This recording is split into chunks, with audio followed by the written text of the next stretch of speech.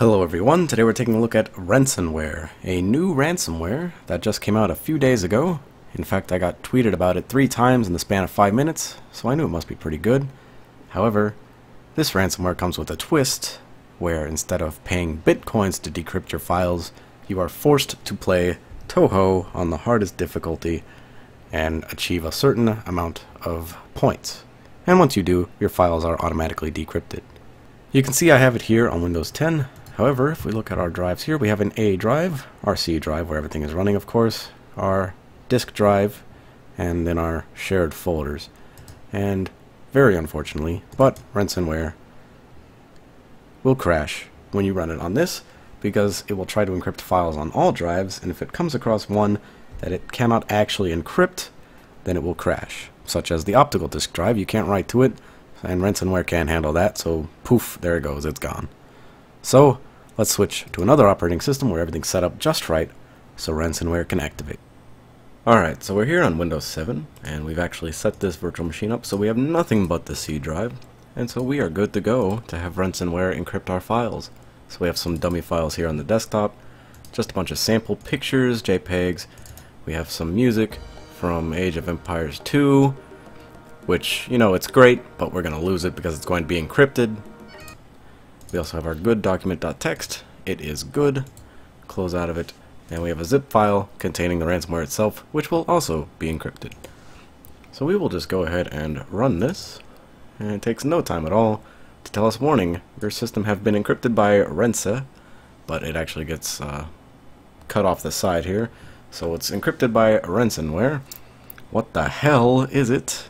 Well, this anime chick right here, I'm assuming, encrypted all of your files, well, all of the files of the correct file type, and now you must play Touhou to the score of 0.2 billion on lunatic level in order to decrypt it. So, good luck, everybody. It is time to play Touhou, and unfortunately the game does not come bundled with the ransomware. You have to go out and find it, which I did. And it turns out I'm really bad at it, but we're going to try it anyway. We'll fire it on up here. And I must warn you again, I have no idea what I'm doing in this game because I am terrible at bullet hells and shoot 'em ups. And we gotta switch to lunatic mode. Well, now it's not even detecting that we're actually running this game. So this could be bad. Oh, there we go. The process is working. And we gotta choose our anime girl. I choose you. I don't know what I'm doing, so I choose that. Sounds good. Alright, let's shoot. Let's get it. We gotta get our 0.2 billion points so our files are okay. If we don't, we're screwed. Because we got some really important stuff on- oh no, we died. Alright, we got this. That was just a little slip up. It's okay. We're shooting. We're shooting things. We're getting them. Get that guy. He died. Alright, we're doing okay. We're making it. We are doing stuff. Get that thing. I don't know what that is, but we need it.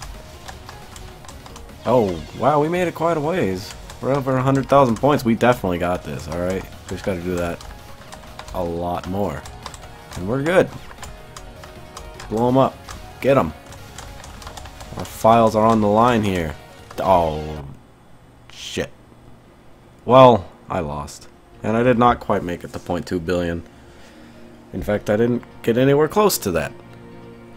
But, fortunately, we don't actually have to get there because this ransomware was created as a joke.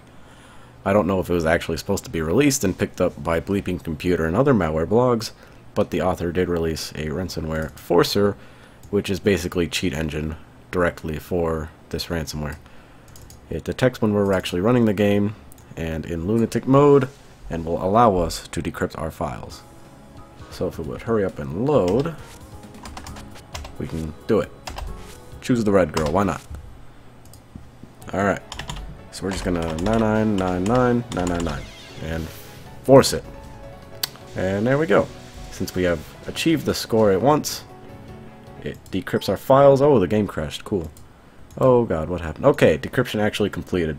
So thankfully the game crashing did not lead to us losing any files.